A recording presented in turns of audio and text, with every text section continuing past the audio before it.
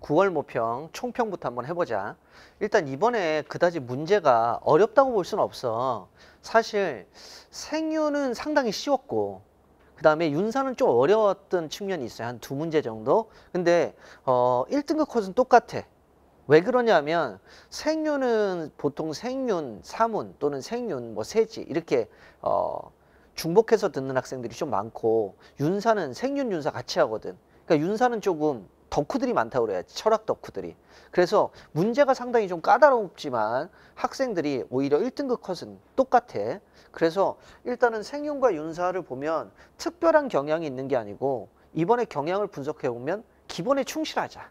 이렇게 얘기할 수 있을 것 같아. 그러니까 기출문제에서 주로 나왔던 쟁점들 그다음에 주로 나왔던 내용들이 나왔으니까 표현만 약간 달라졌으니까 여러분 머릿속에 뭐가 있어야 되냐면 기본적으로 기출문제 제시문이 머릿속에 있고 선택지가 있고 그다음에 이 어, 새로 나온 선택지 조금 낯선 선택지가 있으면 이 선택지가 기존의 선택지와 어떤 맥락에서 같은지 아니면 어떤 맥락에서 다른지 어떤 식으로 해석해야 될지 즉 선택지를 독해하는 해석의 틀을 갖는 게 매우 중요해.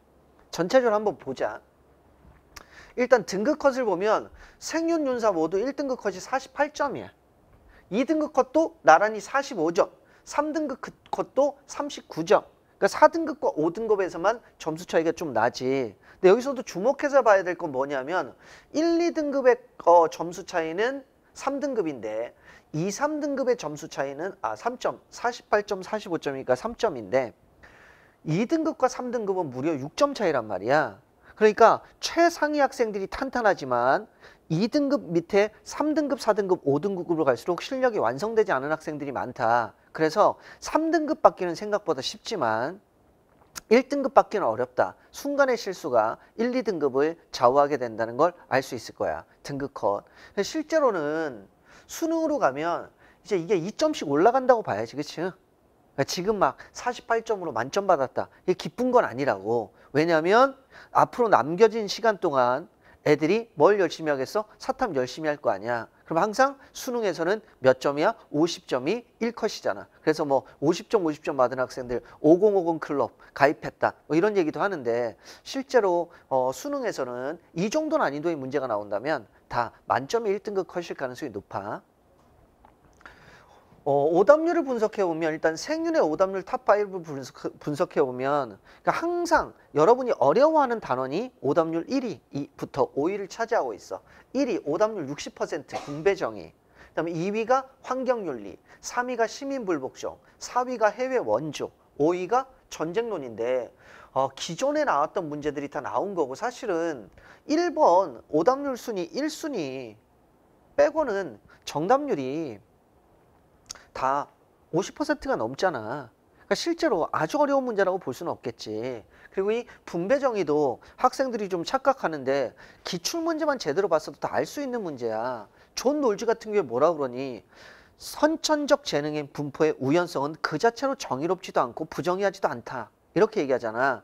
근데 그 선천적 재능 분포에 의한 우연성에 의한 성과물을 사회가 어떻게 분배하느냐에 따라 정의와 부정의가 나눠진다. 이건 내가 생윤 어, 디톡스 할 때부터 보톡스 할 때까지 계속 얘기했었어. 어, 부정의와 정의를 나누는 기준은 자연적인 상태는 정의를 나눌 수가 없다. 사회적인 상태는 정의와 부정의를 나눌 수 있지만 존 롤스의 입장에서는 우연적인 것, 이것 자체는 정의와 부정의가 아니다. 근데 이 우연적인 것에 의한 성과물을 어떻게 처리하느냐가 정의와 부정의를 나누는 기준이 된다라고 여러 번 얘기했다고. 환경윤리는 나올 수 있는 거 그냥 그대로 나온 거야.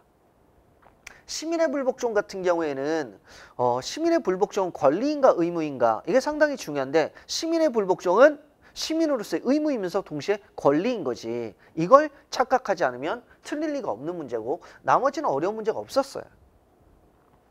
윤사 같은 경우에는 항상 오답률 1위부터 5위가 바뀐다. 근데 빠기, 빠지지 않고 나오는 게 뭐냐면 기본적으로 4단 7정론인데 이번에 4단 7정론이 빠졌어. 그러니까 윤사는 조금씩 조금씩 출제 경향의 변화가 나타나는데 이번에 오답률 1위는 어, 그리스도교 사상의 비교예요. 그리스도교 사상하면 누가 누구야? 아우구스티누스와 토마스 아퀴나스. 근데 매번 나왔던 얘기거든. 뭐 이성으로서 신의 존재를 증명할 수 있다? 토마스 아퀴나스. 이성으로서 신의 존재를 증명할 수 없다?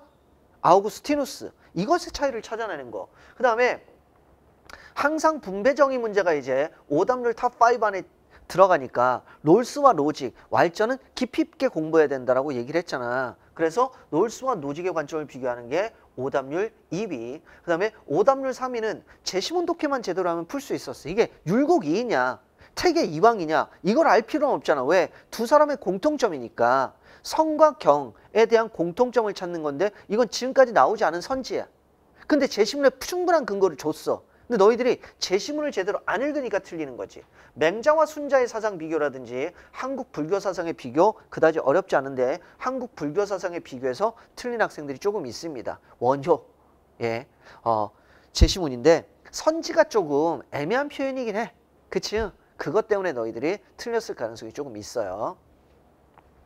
전체적으로 생활과 윤리에 주목할 만한 경향을 본다면 킬러 단원의 중요성은 여전히 지- 지속되고 있다. 그래서 여러분들이 시간 날 때마다 킬러 단원의 핵심적인 쟁점들은 계속 공부해야 돼. 킬러 단원 뭐라고? 분배정의, 환경윤리, 시민의 불복종, 해외 원조, 전쟁론. 특히 전쟁론에서 앞으로 주목해서 봐야 될 사상가는 누구야? 갈퉁이라 그랬지. 왜냐면 평화주의가 매우 복잡한 구조로 되어 있는데 평화주의를 너희들이 제대로 깊이 공부해 본 적은 없어요.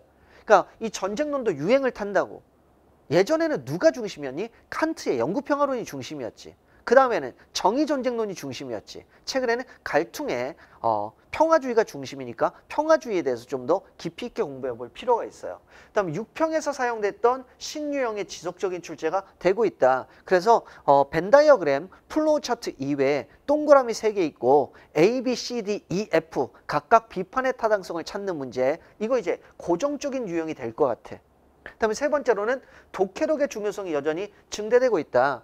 어, 이건 수능 시험의 본질에 어, 부합하는 변화인데 제시문 독해요. 처음 보는 거 나왔잖아 이번에. 그거 틀린 애들 있어요. 제시문만 잘 읽으면 되는데 의료윤리와 관련해서 의료윤리와 관련해서 어, 의사의 온정적 간섭에 대한 찬반의 입장 이것도 제시문 독해형이지. 또 어떤 제시문 독해형이 있었어? 모방 소비와 관련된 거. 베블런의 모, 베블렌의 모방 소비와 관련된 내용은 제시문을 읽으면 다 되거든. 또 니네가 어려웠던 게 뭔지 알아? 예술 파트에서 예술 종교와 윤리에서 나왔던 신미주의 도덕주의 대류에서 도덕주의가 나왔는데 옳지 못한 예술 작품도 뭐가 될 수 있다? 도덕적인 수단이 될 수 있다. 도덕 교육을 위한 수단이 될 수 있다. 그거는 어디에 나오냐면 제시문에 그대로 어, 옳지 못한 잘못된 작품을 통해서 반성하는 계기로 삼아야 된다. 뭐 이런 거 나오거든. 근데 니네들은 어? 비도덕적인 작품이 도덕 교육에 이용될 수 있다고? 아니지 라고 상식적으로 판단해 버리는 것이 근데 상식보다 더 중요한 게 뭐예요? 제시문에 나와 있는 내용이다 이걸 잘 보는 게 중요한 거니까 독해력의 중요성이 증대되는 세 가지 유형에 잘 대비를 해야 된다 다음 윤리와 사상에 주목할 만한 경향은 착각을 주도하는 제시문의 활용도가 좀 높아졌어 한국 불교 사상에서 원효의 제시문은 분명한데 이게 의천의 제시문인가 진울의 제시문인가 헷갈릴 수 있고 성과 경을 강조하는 건 둘 다 율곡이나 태계 이왕도 다 성과 경을 인정하잖아. 따라서 성과 경과 어, 관련된 제시문도 이게 율곡이인지 태계 이왕인지 이걸 찾아내는 게 좀 어려웠다고. 그 다음에 단어 하나에 의해서 오답 판별하는 문제가 좀 많았다. 그냥 인간을 교화한다는 것, 백성을 교화한다는 것과 성을 교화한다는 건 다른 표현이지. 백성을 교화한다는 건 백성을 도덕적 인간으로 만드는 건데 성을 교화한다는 건 성 자체를 변화시킨 걸 의미한다고. 근데 맹자는 인간의 본성은 선한데 그 선, 선한 본성을 강화시킬 수는 있지만 그걸 변화시킬 수는 없는 거잖아. 그 다음에 이성의 기능 수행에 기여한다. 즉 신앙이란 이성의 기능 수행에 기여한다. 이것도 여러분이 많이 알- 배웠어. 뭐냐, 뭐냐면 아우구스티누스는 우리는 어, 믿기 위해서 알려고 하는 게 아니라 어? 알기 위해서 믿는다. 뭐 이런 얘기를 하잖아. 그러니까 알기 위해서 믿는 거예요. 믿어야만 알 수 있다고. 그럼 믿음은 곧 뭐니? 알기 위한 수단이 되고 이성적 판단의 근거가 될 수 있겠지. 그 다음에 전통적인 함정이 지속적으로 출제되고 있다. 어, 플라톤 같은 경우에 통치자 계급은 뭐 지혜가 필요하고 그 다음에 그 다음에 누구니 방위자 계급은 용기가 필요하고 그 밑에 있는 생산자 계급은 절제가 필요하다. 이게 가장 중요한 덕목인데 매번 나오는 게 모든 계층은 뭘 가져야 돼? 절제 덕목을 가져야 된다는 게 매번 나왔던 거잖아. 이번에 또 나온 거예요. 그 다음에 정약용의 단서설과 단시설, 네? 대립구도를 활용한 문제 매번 나오잖아. 그래서 전통적인 성리학은 단서설이지. 우리가 사단이라는 건 뭐예요? 우리가 본성적으로 인의 예지라는 사덕을 가지고 있다는 걸 알 수 있는 단서가 된다. 그래서 단서설. 근데 정약용은 사덕이라는 건 구체적인 실천을 통해서 형성되는 거다. 그래서 사단이란 사덕의 시작이다. 단시설. 이런 거에 대립구도를 활용하는 문제가 어, 나오니까 여러분들이 윤사 같은 경우에는 기본적으로 어, 다양한 제시문들을 읽어봐야 될 필요가 있다. 그래서 수능 완성과 수능 특강, 그 다음에 그동안 기출문제에 제시문을 빠짐없이 읽으면서 사상과 연결 지을 수 있는 능력을 길러야 돼. 두 번째, 단어 하나에 의해서 오답 판결이 이루어지니까 선택지에서 정말 단어 하나의 의미를 정확하게 파악해야 된다. 그 다음에 단어의 의미가 불분명한 게 있단 말이야. 처음 보는 표현이니까. 한국 불교 사상과 관련된 거, 어, 원흉의 통사상 이런 것들이 이제 읽어가면서 확실히 아닌 걸 지워나가는 훈련을 해야 되겠지. 다음에 전통적인 함정이 지속적으로 활용되니까 총정리를 할 때 오답률이 높은 문제 그래서 많이 착각할 수 있는 문제 이런 것들만 잘 찾아내면 되겠죠. 스피노자 같은 경우에는 인간의 자유의지 인정해 안 해 인정하지 않잖아. 그다음 스토학파는 모든 정념을 제거의 대상으로 삼지는 않잖아. 그렇지? 그 다음에 아리스토텔레스는 그 자체로 악한 행동이 있기 때문에 뭐 모든 행동이 중용이 있는 건 아니다. 이런 걸 한 15가지 정리할 수 있을 것 같아. 그래서 자주 나오는 함정 15가지 패턴을 정리하면 어, 윤사도 좀 더 쉽게 여러분들이 만점을 받을 수 있지 않을까. 근데 단어 하나에 의해서 오답이 결정되기 때문에 디테일한 독해, 알겠어? detailing reading이 필요하다. 이게 이번 9월 평가원 모의고사가 보여주는 겁니다. 자 이상으로 생윤과 윤사에 대한 총평을 마치고 이제 어, 문제 해설로 들어가 보도록 하겠습니다.